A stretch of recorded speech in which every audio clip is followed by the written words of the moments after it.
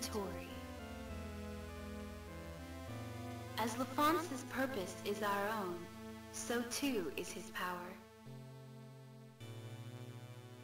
The moon illuminates even the darkest of nights. That which your eyes see is not the only reality. Look with your mind's eye. It will see only the truth.